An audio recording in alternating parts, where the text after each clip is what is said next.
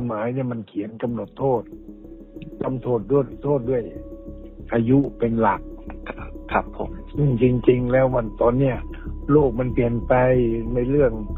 เอ่อโซเชียลในเรื่องความเข้าถึงในการเรื่องการเอาบงเอาแบบอะไรต่างๆเนี่ยพฤติกรรมของเด็กมันเปลี่ยนไป ครับผมมันไม่ใช่เอาอายุคิดว่าเด็กมันตัวเล็กอะไรไม่ใช่แล้ว ครับ มันต้องเอาความตัวเนี้ยมาเปลี่ยนแปลง เดิมเราออกกฎหมายเพราะเราเอาอายุเป็นเกณฑ์ แต่ต่างประเทศเขาเปลี่ยนแล้วเขาเอาพฤติกรรมของคดีมันเป็นเกณฑ์ครับใช่ไหมของเราเนี่ยมันใช้อายุทำให้ศาลเนี่ยไม่สามารถจะใช้ดุลพินิจได้เขาเขียนเลยเด็กอายุไม่ถึงสิบสี่ปีกระทำความผิดไม่ต้องครับเป็นความผิดแต่ไม่รับโทษ แต่ถ้าเราเขียนแต่ว่าโอเคเอ่อ แล้วให้ศาลใช้ดุลพินิจในการพิจารณาคดีอะไรต่างๆเอ่อได้อย่างเงี้ยโดยกำหนดโทษว่าถ้าเด็กกระทำความผิดอย่างนี้อย่างนี้ต้องรับโทษ มันก็ได้ เพราะกฎหมายที่อนุทิสัญญาของสหประชาชาติเนี่ยเขาให้ไปออกกฎหมาย เด็กและเยาวชนที่มีอายุต่ำกว่า 18 ปีครับแต่เขาไม่ได้เขียนว่าจะเขียนยังไง แต่ประเทศไทยมันไปเขียนล็อกนะไปบล็อกไว้ค่ะ ผมคิดว่าควรจะแก้เปลี่ยนแก้กฎหมาย สมมติว่าเด็กอายุตัวเนี้ยไปปล้นเขาครับผม อย่างเงี้ยควรจะขึ้นศาลผู้ใหญ่ไหมาละปล้นเขาอะครับปล้นแล้วก็ข่มขืนก็ทำจำเราเขาอะครับควรจะเปลี่ยนนะปล้นแล้วฆ่าเขาอย่างเงี้ย หรือไปชิงทรัพย์แทงเขาอย่างเงี้ย หรือเป็นเด็กเยาวชนไปรวมกลุ่มกันไปดักยิงเด็กคนโน้นนี่ตายอย่างเงี้ย อย่างโหดเหี้ยมทารุณอย่างเงี้ย อย่างเงี้ยควรจะรับโทษไหมล่ะแต่ถ้าเด็กขับรถขี่ไปผิดกฎหมาย เด็กชกต่อยกันเอาอะไรอย่างประเวากันรับว่ามันเป็นโทษน้อย เด็กขโมยขโมยของอะก็ว่าไป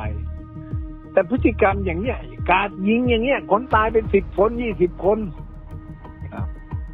อย่างเงี้ยฆ่าพ่อแม่ไอ้อย่างเงี้ยมันเป็นพฤติกรรมที่โหดร้ายเนี่ย ครับฆ่าไม่ฆ่าธรรมดาตัดหัวมั่งแทงเงินอะไรเงี้ยอย่างนี้พฤติกรรมโหดร้ายไม่ไรอย่างนี้มันคิดออกได้เนี่ยกฎหมายมันเขียนได้เนี่ยว่า ถ้าโทษแบบนี้ไงจะต้องรับโทษยังไง ได้ครับมันไม่ได้แก้อะไรมากเลยยกเลิกกับยกไม่ได้หรอกเพราะมันผิดส่วนที่สัญญาของยูเอ็นที่เราไปทำไว้และทั่วโลกเขาต้องปฏิบัติจะจะทำยังไงให้มันมีบทลงโทษ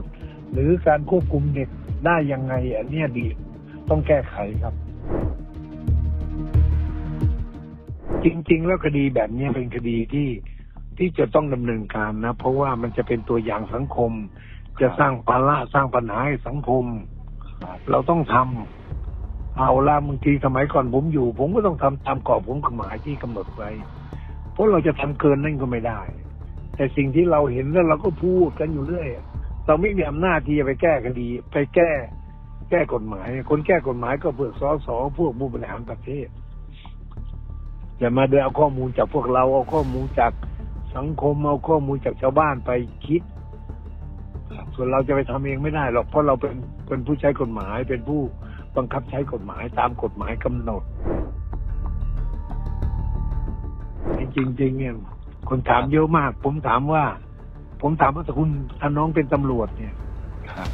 ถ้าน้องอยู่ตำรวจในความถูกต้องความเป็นธรรมยุติธรรมเนี่ย คุณไม่อบรมสั่งสอนลูกเหรอะครับนี่แสดงคุณไม่ทรงเอ่อสั่งสอนลูกไงทำให้ลูกมันก็เหิมเกิม